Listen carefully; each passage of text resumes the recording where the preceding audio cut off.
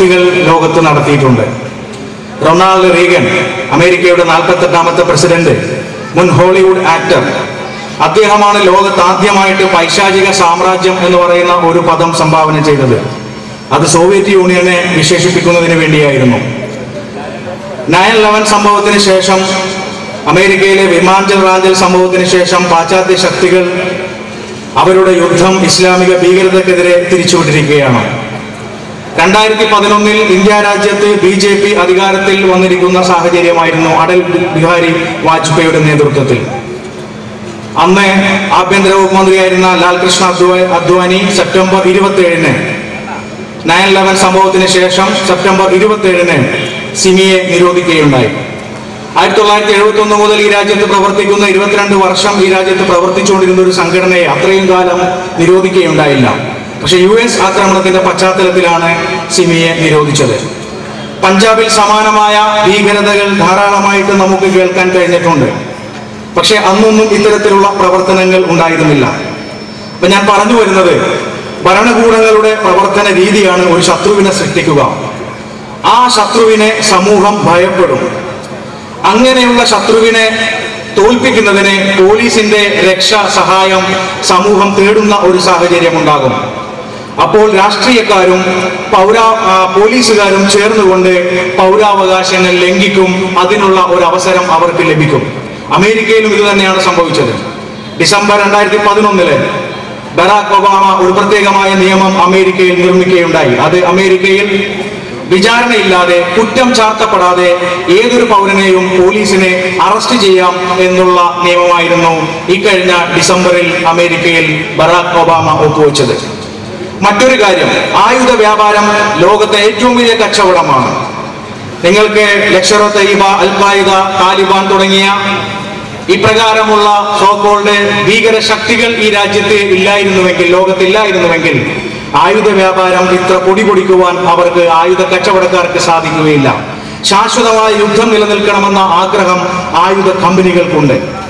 Google എടുത്തുകൊണ്ട് നിങ്ങൾ ഭീകരവാദ സംഘടനകളെ കുറിച്ച് പരിശോധിച്ചു നോക്കുക. അറുപത് എഴുപത് വർഷക്കാലമായിട്ട് ഇവിടെ പ്രവർത്തിച്ചുകൊണ്ടിരിക്കുന്ന ഇസ്ലാമിക ഭീകരവാദ സംഘടനകളും എൽ ടി ടി സ്പെയിനിലെ ചില ഭീകരവാദ സംഘടനകൾ ഞാൻ അവരെ ഭീകരവാദ സംഘടനകൾ എന്നല്ല പറയുന്നത് പക്ഷേ അവരുടെ പേര് അങ്ങനെ ചാർത്തപ്പെടുകയാണ്. ഇതിൽ ഇന്ത്യൻ മുജാഹിദീനെ മറ്റ് യാതൊരു ഭീകര സംഘടനയുമായിട്ട് ഇന്ത്യൻ മുജാഹിദീന് ഒരു സാമ്യവും കാണാൻ നിങ്ങൾക്ക് സാധിക്കുകയില്ല. നിങ്ങൾക്കറിയാം ഇന്ത്യൻ മുജാഹിദീന് ഒരു ആസ്ഥാന കേന്ദ്രമില്ല. താലിബാന് പാകിസ്ഥാൻ അഫ്ഗാനിസ്ഥാൻ ഉള്ളതുപോലെ എൽ ടി ടിക്ക് ശ്രീലങ്ക ഉള്ളതുപോലെ ഇന്ത്യൻ മുജാഹിദീനെ ഒരു ആസ്ഥാന കേന്ദ്രം കാണാൻ എവിടെയെങ്കിലും ഉണ്ടോ എന്ന് നമുക്ക് ചൂണ്ടിക്കാണിക്കുവാൻ സാധ്യമല്ല. എന്താണ് ഇന്ത്യൻ മുജാഹിദീന്റെ താല്പര്യം? ആശുപത്രികളിലോ ബസ്സുകളിലോ മാർക്കറ്റുകളിലോ അവർ ബോംബ് സ്ഫോടനങ്ങൾ സംഘടിപ്പിക്കുന്നു. എന്തിനാണ് ബോംബ് വെക്കുന്നത്? അവർക്ക് ആർക്കും തന്നെ അറിയില്ല. പോലീസിനെയോ സുരക്ഷാ കേന്ദ്രങ്ങളെയോ ഇന്ത്യൻ മുജാഹിദീൻ ഒരിക്കലും ലക്ഷ്യമാക്കുന്നില്ല. അത്ഭുതകരമാണ് ആ കാര്യം. പാകിസ്ഥാനിൽ തന്നെ നമ്മൾ കാണുന്നു ധാരാളം പട്ടാരക്കാർ കൊല്ലപ്പെടുന്നു സുരക്ഷാ ഉദ്യോഗസ്ഥന്മാർ കൊല്ലപ്പെടുന്നു. പല ഭീകര സംഘടനകളും പോലീസുകാരെ ലക്ഷ്യം വെക്കുന്നു. ഇന്ത്യയിൽ പക്ഷേ ബട്ട്ല ഹൗസ് സംഭവത്തെ ഒഴിച്ചു നിർത്തിയാൽ പോലീസുകാർ ആക്രമിക്കപ്പെടുന്നത് നമുക്ക് കാണാൻ സാധിക്കുന്നില്ല. ബട്ട്ല ഹൗസ് ഏറ്റുമുട്ടലിനെ ഞാൻ വിശേഷിപ്പിക്കുന്നത് ബട്ട്ല ഹൗസ് കൂട്ടകൊല എന്നാണ്. അല്ലാതെ അതിനെ ഒരു ഏറ്റുമുട്ടലായി കാണാൻ എനിക്ക് താല്പര്യമില്ല. പറഞ്ഞു വരുന്നത് ഇന്ത്യൻ മുജാഹിദീന്റെ ആക്രമണത്തിൽ ഒരിക്കലും തന്നെ ഇപ്പോൾ പാകിസ്ഥാനിൽ തന്നെ കറാച്ചിയിൽ അടുത്ത കാലത്തെ നേവൽ ബേസ് ആക്രമിക്കപ്പെടുകയുണ്ടായി. ശ്രീലങ്കൻ ക്രിക്കറ്റ് ടീം ആക്രമിക്കപ്പെടുകയുണ്ടായി. പക്ഷേ പോലീസുകാരെയോ സുരക്ഷാ ഏജൻസികളെയോ ഇന്ത്യൻ മുജാഹിദീൻ ലക്ഷ്യമാക്കുന്നില്ല. ഇന്ത്യയിൽ അനാഥ ബോംബുകളാണ് പൊട്ടിക്കൊണ്ടിരിക്കുന്നത് എന്ന് നമ്മൾ മനസ്സിലാക്കേണ്ടതാണ്. ആരാണ് സ്ഥാപിച്ചതെന്ന് അറിയില്ല ഇപ്പൊ കഴിഞ്ഞ പത്തു വർഷങ്ങളിലായിട്ട് സെപ്റ്റംബർ പതിനൊന്നിന്റെ സംഭവം സിമി നിരോധം ഇസ്ലാമിക ഭീകരവാദം എന്ന കാര്യങ്ങളൊക്കെ തന്നെ ഇവിടെ വലിയ മാധ്യമങ്ങൾ ഭരണകൂടത്തിന്റെ ഭാഷയ്ക്ക് അലങ്കാരം ചമച്ചുകൊണ്ട് വലിയ വാർത്തകൾ നൽകുകയും അത് ഇസ്ലാമിക ഭീകരവാദം എന്ന കാര്യം പ്രചരിപ്പിക്കുകയും ചെയ്തുകൊണ്ടിരിക്കുകയാണ്. ഞാൻ അടുത്ത കാലത്തായിട്ട് നമ്മൾ കേട്ടിട്ടുള്ളൂ ഡൽഹിയിലെ ബോംബാക്രമണം. പത്ത് മിനിറ്റിനുള്ളിൽ നെതന്യാഹു പറഞ്ഞു ഇറാനാണ് ആ ബോംബിന് പിന്നിൽ എന്ന് പറയുകയുണ്ടായി. പക്ഷേ അപ്രകാരം ഡൽഹിയിൽ ബോംബ് പൊട്ടിയതുകൊണ്ട് ഇറാന് യാതൊരു ഗുണവുമില്ല ഇസ്രായേലിന് ധാരാളം ഗുണങ്ങളുണ്ട് എന്ന് നമുക്ക് മനസ്സിലാക്കുവാൻ സാധിക്കും. കാരണം യു എസ് അമേരിക്ക അടിക്കടിയായി ഇറാനെതിരെ ഉപരോധത്തിൽ ഒപ്പുവെക്കണമെന്ന് ഇന്ത്യയോടും ചൈനയോടും ആവശ്യപ്പെട്ടുകൊണ്ടിരിക്കുകയായിരുന്നു. നാലഞ്ച് വർഷങ്ങളായി അതിനുവേണ്ടി സമ്മർദ്ദം ചെലുത്തിക്കൊണ്ടിരിക്കുന്നു. ഇന്ത്യൻ പ്രധാനമന്ത്രി ഇറാൻ എന്ന് പറയുന്ന നമ്മുടെ പാരമ്പര്യമായ മിത്രത്തെ സുഹൃത്തിനെ കൈയൊഴിപ്പിക്കുന്നതിന് വേണ്ടിയുള്ള അമേരിക്കയുടെ ബലിയാടാകാനുള്ള ശ്രമങ്ങൾ നടത്തിക്കൊണ്ടിരിക്കുകയാണ്. ഇറാനാവട്ടെ കാശ്മീർ പ്രശ്നത്തിൽ പോലും ഇന്ത്യയുടെ പക്ഷത്ത് നിന്ന ഒരു രാജ്യമാണ്. അങ്ങനെയുള്ള ഇറാനിൽ നിന്ന് വാതകം വാങ്ങുന്നതിന് വേണ്ടി ഗ്യാസ് വാങ്ങുന്നതിന് വേണ്ടി ഇന്ത്യ തീരുമാനിക്കുകയും പ്രണാബ് മുഖർജി അതിന്റെ പ്രഖ്യാപനം നടത്തുകയും ചെയ്ത പതിനഞ്ച് ദിവസത്തിന് ശേഷമാണ് ഡൽഹിയിൽ ബോംബ് പൊട്ടിയത് എന്ന വസ്തുത നമ്മൾ ചേർത്ത് വെച്ചുകൊണ്ട് മനസ്സിലാക്കേണ്ടതാണ്. ഇങ്ങനെ ലോകത്തുടനീളം നടക്കുന്ന സംഭവ വികാസങ്ങളുടെ ഭാഗം തന്നെയാണ് കേരളത്തിൽ നടന്നുകൊണ്ടിരിക്കുന്ന കേരള സർക്കാരിന്റെയും കേരള പോലീസിന്റെയും ഈ നടപടി എന്ന് നമ്മൾ മനസ്സിലാക്കേണ്ടതുണ്ട്. ആന്ധ്രാപ്രദേശ് മഹാരാഷ്ട്ര അതുപോലെ തന്നെ രാജസ്ഥാൻ തുടങ്ങിയ കോൺഗ്രസ് ഭരിക്കുന്ന സംസ്ഥാനങ്ങളിലും ഗുജറാത്ത് മധ്യപ്രദേശ് തുടങ്ങിയ ബി ജെ പി ഭരിക്കുന്ന സംസ്ഥാനങ്ങളിലും ഒക്കെ തന്നെ മുസ്ലിങ്ങൾ ഇപ്രകാരം ടാർഗറ്റ് ചെയ്യപ്പെടുന്ന സംഭവ വികാസങ്ങൾ നമ്മൾ കണ്ടുകൊണ്ടിരിക്കുന്നു. അത് രാഷ്ട്രീയത്തിന്റെ ഭാഗമായി തന്നെ നമ്മൾ മനസ്സിലാക്കേണ്ടതുണ്ട്. പ്രത്യേകിച്ചും യു പിയിൽ അവിടെ കോൺഗ്രസ് ഭരിക്കുമ്പോഴും ബി ജെ പി ഭരിക്കുമ്പോഴും മുലായം സിംഗ് ഭരിച്ചപ്പോഴും ഇപ്പോൾ മായാവതി ഭരിച്ചുകൊണ്ടിരിക്കുമ്പോഴും ഒക്കെ തന്നെ മുസ്ലിങ്ങൾ ഭീകരവാദം പേര് ചുമത്തിക്കൊണ്ട് അറസ്റ്റ് ചെയ്യപ്പെടുന്ന സാഹചര്യങ്ങൾ ഉണ്ടായിക്കൊണ്ടിരിക്കുകയാണ്.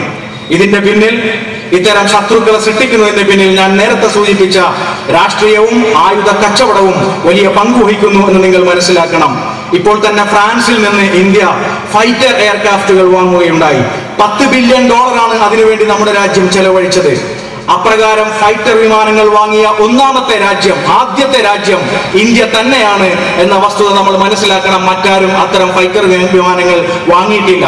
ഇസ്രായേൽ ആയുധ കയറ്റുമതിയുടെ കാര്യത്തിൽ ഒന്നാം സ്ഥാനത്ത് നിൽക്കുന്ന രാജ്യമാണ്. ഇതിലെല്ലാം തന്നെ വലിയ അഴിമതിയും നടന്നുകൊണ്ടിരിക്കുന്നു. അതുകൊണ്ട് ശത്രുവില്ലെങ്കിൽ ഭീകരാക്രമണങ്ങൾ ഇല്ലെങ്കിൽ എന്തിനാണ് ഇത്തരം ആയുധങ്ങൾ വാങ്ങുന്നത് എന്ന് പൗരന്മാർ ചോദിക്കാതിരിക്കുന്നതിനാണ് ഇത്തരം ഭരണകൂട ഗൂഢാലോചനകൾ നടന്നുകൊണ്ടിരിക്കുന്നത്. ഞാൻ പത്രസമ്മേളനത്തിൽ പത്ത് ചോദ്യങ്ങൾ ഉന്നയിക്കുകയുണ്ടായി.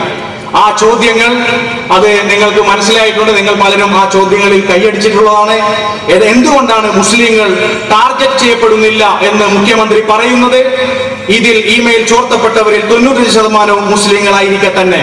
രണ്ടാമത്തെ ചോദ്യം കെ കെ ജയമോഹൻ സിമി ബന്ധം എന്ന് പറയുന്നത് അബദ്ധത്തിൽ സംഭവിച്ചതാണ് എന്ന് ഉമ്മൻചാണ്ടി പറയുന്നു. എങ്കിൽ കെ കെ ജയമോഹനെതിരായിട്ട് എന്ത് നടപടിയാണ് ഉമ്മൻചാണ്ടി സ്വീകരിച്ചത്? യൂസർ നെയിം മാത്രമാണ് പാസ്വേഡുകളല്ല ഞങ്ങൾ പരിശോധിച്ചത് എന്ന് പറയുന്നു. പക്ഷേ ഇമെയിൽ തുറക്കാതെ എങ്ങനെയാണ് നിങ്ങൾക്ക് അത് സാധിച്ചത് എന്ന് നിങ്ങൾ തീർച്ചയായിട്ടും വ്യക്തമാക്കേണ്ടതുണ്ട്. അതുപോലെ തന്നെ നാലാമതായിട്ട് ഇമെയിലുകളിൽ നിന്ന് നിങ്ങൾക്ക് എന്ത് വിവരമാണ് ലഭിച്ചത് എന്ന് എന്തുകൊണ്ട് നിങ്ങൾ പ്രസിദ്ധീകരിക്കുന്നില്ല. അഞ്ചാമത്തെ ചോദ്യം ഒരു ക്രിമിനൽ ബാക്ക്ഗ്രൗണ്ടും ഇല്ലാത്ത ഇരുന്നൂറ്റി അറുപത്തെട്ട് ആളുകളിൽ എത്ര പേർ സിമി ബന്ധമുള്ളവരുണ്ട് എന്ന് നിങ്ങൾക്ക് വ്യക്തമാക്കാമോ? അതുപോലെ തന്നെ ഈ ഇരുന്നൂറ്റി അറുപത്തെട്ട് പേരുകൾ കിട്ടിയത് ഒരു കൊടും ഭീകരനിൽ നിന്നാണ് എന്നാണ് നിങ്ങൾ പറയുന്നതെങ്കിൽ എന്തുകൊണ്ട് അയാളുടെ പേരും വിവരങ്ങളും നിങ്ങൾ ലോകത്തോട് ജനങ്ങളോട് വ്യക്തമാക്കുന്നില്ല? അഞ്ച് ദിവസത്തിനകം ഐ ജി ഗൗരികുമാർ ഇത് സംബന്ധിച്ച അന്വേഷണ റിപ്പോർട്ട് സമർപ്പിക്കും എന്ന് മുഖ്യമന്ത്രി പറഞ്ഞതാണ്. ആ റിപ്പോർട്ടിൽ എന്താണുള്ളത്? എന്തുകൊണ്ടാണ് ആ റിപ്പോർട്ട് പ്രസിദ്ധീകരിക്കാത്തത്? അതുപോലെ തന്നെ ഐ ടി നിയമം എത്ര വകുപ്പ് പ്രകാരമാണ് നിങ്ങൾ ഇമെയിൽ സേവന ദാതാക്കളിൽ നിന്ന് ഇത്തരം വിവരം ലഭ്യമാക്കിയത് എന്ന് തീർച്ചയായിട്ടും നിങ്ങൾ വ്യക്തമാക്കേണ്ടതുണ്ട്. അതുപോലെ high tech cell sub inspector ബിജുവിനെതിരായിട്ടുള്ള അന്വേഷണ നടപടികൾ പൂർത്തിയാക്കുകയുണ്ടായി. എന്താണ് ബിജുവിനെതിരായിട്ട് നിങ്ങൾ കുറ്റം ചുമത്തിയിട്ടുള്ളത്? പത്താമത്തെ ചോദ്യം സിമി എന്നത് നിങ്ങൾ തെറ്റായി പ്രയോഗിച്ചതാണെങ്കിൽ അതിന്റെ പേരിൽ കേരളത്തിലെ മുസ്ലിങ്ങളോടും ഇരുന്നൂറ്റി അറുപത്തെട്ട് ഇമെയിൽ പാസ്വേഡിന്റെ ഉടമകളോടും പരസ്യമായി മാപ്പ് പറയുവാൻ ഉമ്മൻചാണ്ടി തയ്യാറുണ്ടോ? ഞാൻ എന്റെ വാക്കുകൾ അവസാനിപ്പിക്കും.